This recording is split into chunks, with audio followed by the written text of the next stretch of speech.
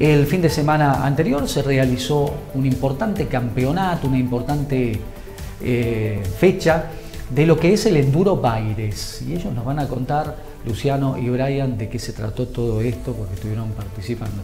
Chicos, muchas gracias por estar aquí. ¿eh? No, muchas gracias a vos por la invitación. Bueno, cuéntenos entonces, porque, bueno, quienes no estamos en esta eh, en este métier, digamos, por ahí no nos enteramos de estos eventos que se producen en Junín, que fueron importantes y que tuvieron participación de todo, toda la provincia de Buenos Aires y también de otras partes del país.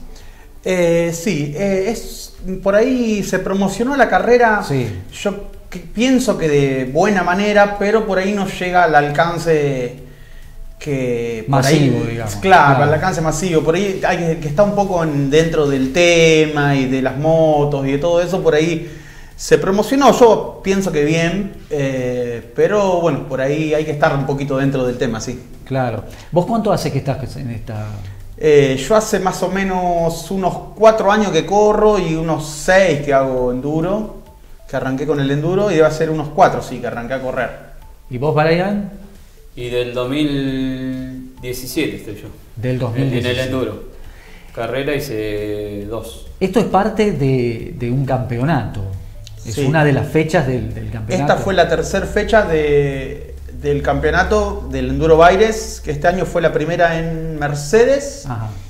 y la segunda fue en General Alvear. General. En General Alvear, este, esta fue la tercera fecha, sí. Generalmente son seis, siete fechas por año. Este circuito donde se realizó es bastante nuevo, acá en Junín.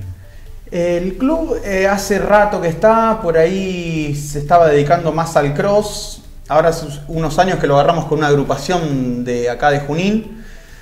Agarramos como quien dice eh, las riendas porque estaba medio ahí el club Sí. eh, y se empezó a trabajar en conjunto con la gente que ya estaba. Y se hizo una pista muy, muy linda eh, dentro de la provincia. Toda la gente que viene de afuera eh, quedan todos muy, muy conformes con lo que es la pista porque es una pista muy, muy completa. La verdad que sí.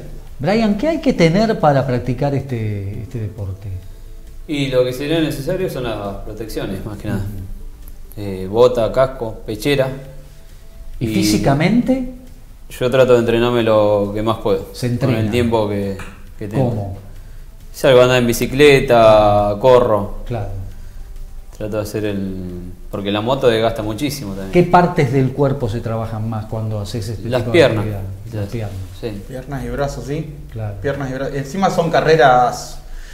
La que corrí yo, eh, corrimos en distintas finales. Eh, la que corrí yo, corrí en la primer final, fue 8 vueltas simplemente, pero Ajá. duró 53 minutos y medio, duró la carrera. Casi una horita.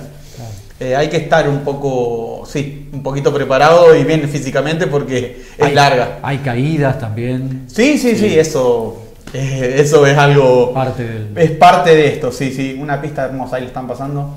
Claro. Muy linda pista. Esto verdad. es ahí, vamos a ubicarnos geográficamente, camino al balneario. Sería enfrente del autódromo. Frente al Claro, autódromo. Justito antes de llegar a la laguna, sí. Es, eh, eh, digamos, era el predio de lo que es el club de planeadores.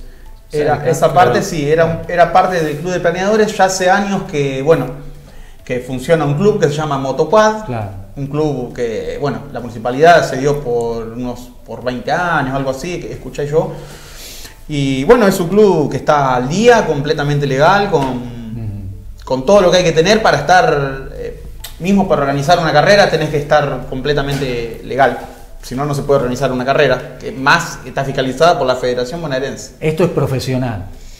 No es O amateur. profesional porque no hay plata, es amateur. Es amateur. Pero sí, sí. Eh, bueno, hay que tener una licencia, hay que hacerse unos exámenes médicos para esa, para esa licencia. Eh, es algo, sí. Nosotros vemos este, este tipo de, de motos aquí andando por la ciudad muchas veces. Sí. ¿eh? Y yo a veces he criticado eso, porque me parece que no son motos aptas para la ciudad, o por lo menos como se usan en la ciudad. Eh, ¿Estás de acuerdo con eso o, o no? Yo, mira, eh, la categoría mía, que es, ahí Sí. estoy yo, eh, es, es con motos, se llama Enduro Calle, porque son Sí. motos de calle, como viene Ajá. a ser esa que es una Honda Tornado, que viene con luces. Claro. viene con pata, viene con... Pero sí. Dan eh, un poco, porque a mí a veces cuando veo estas motos por la ciudad me dan un poco de temor, porque viste que arrancan así como que te viene No, sí. Yo ¿No? lo que no estoy de acuerdo es... eh, el que- cómo se usa. Lo que siempre digo es eh, el que quiere andar, correr, andar fuerte o le gusta Sí. esto, es que, Que se, que se acerque a practicar el deporte que es muy bajo costo. Tenemos acá en Junín la cuota de socio Claro. en el club. O mismo, bueno, lo que pasa es que hay muchos chicos que andan con las picadas y eso. Claro. Que también ahora eh, sé que se están haciendo bastante seguido en el autódromo, por ahí los costos son un poquito caros, pero la calle no es para correr, en la pista uno sabe lo que está haciendo, Claro. vamos todos para el mismo lado y sabemos a lo que estamos haciendo. En la calle eh, vos te puedes encontrar con gente que está haciendo su vida o que no, no tiene por qué estar corriendo o algo, o uno para un lado, el otro para otro. Involucra a terceros. Sí, sí, sí. Yo eso estoy totalmente también en desacuerdo cuando veo los chicos por ahí que andan fuerte en la calle y todo. Es algo que no, no me llama la atención para nada por el tráfico. Y te- aparte que en la calle, yo para mí tenés más posibilidades en la calle de hacerte mal Claro. que dentro de una pista. Bueno, chicos, eh, ¿cómo pueden ponerse en contacto con el club? Tenemos una red social. Eh, Instagram es Motoquad eh, Junín. Motoquad Junín, Y si no, tenemos el grupo nuestro de Enduro Team. Enduro Team, También se le hablan ahí y les van a contestar. Y si no, se llegan todos los sábados y todos los domingos, eh, abre la pista y los feriados. Se llegan allá, van a la parte de la cantina y siempre va a haber alguien de la comisión y le dicen y esto es muy muy abierto. Es más, siempre estamos tratando de sumar nueva gente. Ahora estamos sumando muchos chicos, hay chicos nuevos eh, que andan muy muy bien, jóvenes, la verdad que jovencitos. Porque vos me decías que de acá de Junín eran pocos y vinieron muchos de, de afuera. De Junín éramos cuatro, creo. que. Cuatro. Sí, Bueno. cuatro corrimos de Junín. Después, el, eh, sí, había 60, 60, 70 motos, todo de la provincia. Claro. Digamos, de toda la provincia de Buenos Aires, sí. Bueno, ¿la próxima fecha dónde es? ¿Cuándo es? La próxima fecha, creo que por lo que dijo, es el próximo mes en Pergamino. Pergamino. Pergamino, sí. Una pista hermosa, yo fui el año pasado. Eh, ¿A ustedes les cuesta, digamos, eh, recursos, dinero, tener que viajar? Eh, porque seguramente tienen sus ocupaciones que no tienen que ver con esto. No sé. Sí, lo que tratamos nosotros es hacer una rifa algunas veces. Le- Claro. esta vez hicimos rifa, hicimos un sorteo con él. Por ahí Porque hacemos todo una cuesta. peña, eh, Claro. juntamos de diversas maneras, pues la verdad que los costos son muy caros, los costos tanto de la inscripción como todo eso, más la moto y bueno, los gastos que... Los mantenimientos. Y bueno, cuando se viaja afuera, que es el viaje, la comida, eh, el hospedaje, porque generalmente son pistas largas y hay que ir el sábado para aprendérsela bien el sábado y la carrera es el domingo. Claro. Y la verdad que los costos son caros, sí. Muy, Claro. muy caros. Y- Eh, lo estamos costeando. Lo que está- nos gustaría tener apoyo. sí. Nos gustaría tener un poco más de apoyo. Yo el año, Sponsor, sí. el año pasado tuve un sponsor que Ajá. hice todo el campeonato.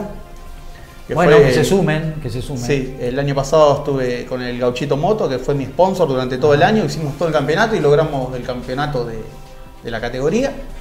Este año decidí no correrlo, a esta la corrí porque era acá en casa. Pero bueno, la verdad que es, es un poco complicado. ¿Y la familia apoya esto? ¿Los acompaña o van solitos ahí? No, sí. ¿Eh? ¿Van con familia también? Él, bueno, él tiene más apoyo, eh, Sí. sus papás lo, lo- estaban el otro día en la carrera. Mis padres, yo, yo hace cuatro años he corrido 20, 30 carreras, no sé. Ajá. Fueron, creo que mi segunda carrera fueron a, a Pergamino y gané. Me dijeron, bueno, hermoso, muy lindo todo, pero la verdad que no puedo estar una hora sufriendo al lado del alambre. Claro.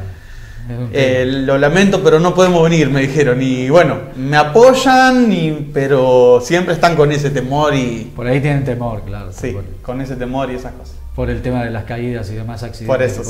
Sí. Bueno, chicos, muchas gracias No. por, por venir, por este contacto, por compartir con nosotros este, esta pasión que tienen por, por este deporte. ¿eh? Bueno, yo los invito a todos al club, al Motoquad. En el club también hemos, hemos estado haciendo eventos solidarios. Ajá. Hemos hecho el año pasado, no Ah, es bueno. que se usa solamente la pista y nada más. Hemos hecho para una chica, para juntarle fondos para Nati, que Ajá. se tenía que hacer una operación. Después juntamos para otro nene también, que no me acuerdo. sí. Lolo creo que Eh, era. No, no me acuerdo cómo era. Bueno, Se han hecho varios eventos solidarios, siempre tratamos de darle un buen fin al club.